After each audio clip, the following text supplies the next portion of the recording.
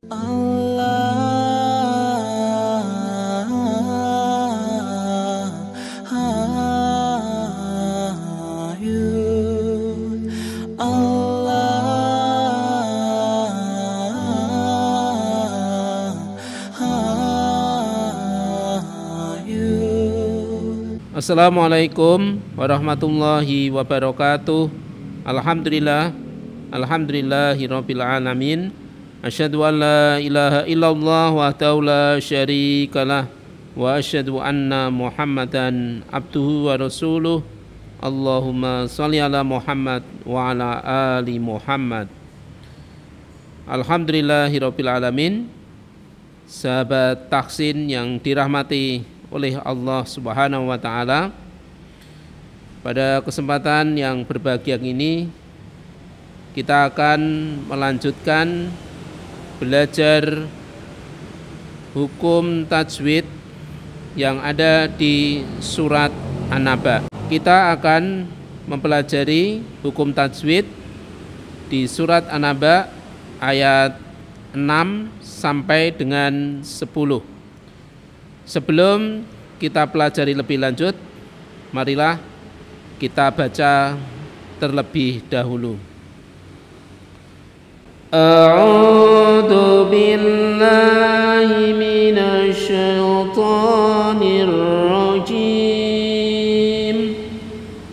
بسم الله الرحمن الرحيم. ألم نجعل الأرض مهادا والجبال أوتادا وخلقناكم أزواجا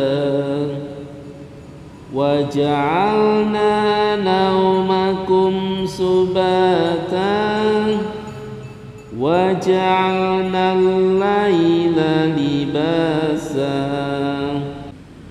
Sadaqallahul Adim Alhamdulillahirabbil alamin Sahabat taksin yang dirahmati oleh Allah Marilah kita bersama-sama kita kaji hukum tajwid mulai dari ayat yang ke-6 Di ayat yang ke-6 ada bacaan alam di mana huruf mim itu berharokat sukun bertemu dengan huruf nun maka terdapat bacaan hukum idhar safawi di mana huruf mim terbaca dengan jelas. Kemudian dilanjutkan ada kata naj'al. Ya. Ada huruf jim yang disukun maka terhadap hukum bacaan kolkolah suhro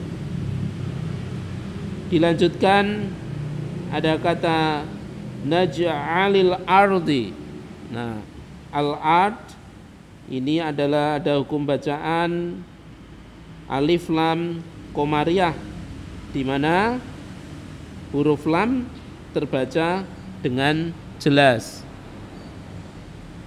Mihada huruf H ya dibaca dua harokat karena terdapat hukum bacaan mat tobi'i dan di akhir ada huruf dal yang berharokat fatkah tanwin tetapi karena diwakafkan maka terdapat hukum bacaan mat iwat yang panjangnya dua harokat. Sahabat tangsin yang dirahmati oleh Allah Subhanahu wa taala, kita lanjutkan di ayat yang ketujuh. Wal jibala. Nah, di sini terdapat hukum bacaan alif lam komariah. Al jibal maka huruf lamnya terbaca dengan jelas autada au di sini terdapat huruf lin kemudian ta dibaca dua harokat karena terdapat hukum mat tobi'i dan di akhir ada huruf da yang berharokah fatkah tanwin tetapi karena diwakafkan maka terbaca da Kenapa? Karena di sini terdapat hukum bacaan mat iwat. Kita lanjutkan di ayat yang ke-8 ada kata wa khalaqnakum. Ini ada huruf qaf yang disukun. Maka ini terdapat hukum bacaan kolkolah suhro. Na dibaca panjangnya dua harokat ya karena terdapat hukum bacaan mat tobi'i dan kum ya huruf mimnya dibaca dengan jelas di mana huruf mim sukun bertemu dengan alif. Nah, ini terdapat hukum bacaan idhar safawi. Artinya mimnya terbaca dengan jelas.